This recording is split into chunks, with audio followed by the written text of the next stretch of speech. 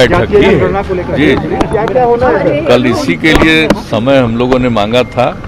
आदरणीय प्रधानमंत्री जी से उन्होंने समय दिया है। कल 11 बजे उन्होंने समय दिया है। सब लोग जाएँगे और 10 पॉलिटिकल पार्टी के एक एक प्रतिनिधि शामिल होकर के इसमें हम लोग सब एक साथ जाएँगे और उनके समक्ष में अपनी बात रखेंगे। सर बीजेपी का जो रुख है उससे आपको लग रहा है कि रास्ता निकल बीजेपी भी आ रही है साथ में आ रही है जा रही है। क्या बातचीत रखेंगे क्या?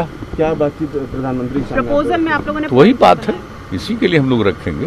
ये तो पहले ही से जान रहे हैं कि बिहार में मतलब जी। 19 में ही एक यूनानिमस रिजोल्यूशन हुआ था इसके पक्ष में।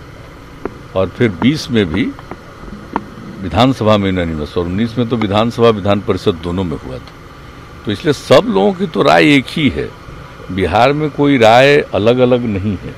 तो उसी को कहने हम लोग अपनी बात रखने है आए उम्मीद है कि बेहतर प्रपोजल कल तो बातचीत करेंगे तब पता चलेगा अभी कैसे कह सकते हैं। लेकिन ज़रूर हम लोग सोचते हैं कि ये सबके हित में है पूरे देश के हित में है और ये ऐसी बात नहीं है कि सिर्फ़ बिहार के लोगों की इच्छा है। ये पूरे देश के लोगों की इच्छा है कि जाति आधारित जनगणना कम से कम एक बार तो ज़रूर कर देना चाहिए ताकि सब चीज़ों के बारे में पूरी जानकारी हो जाए।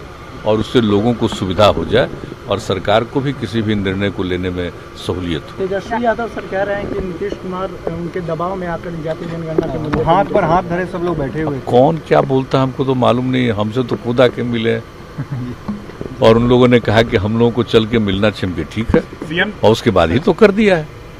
तो इसको इसको दबाव कहते हैं। आप जरा बताइए तो।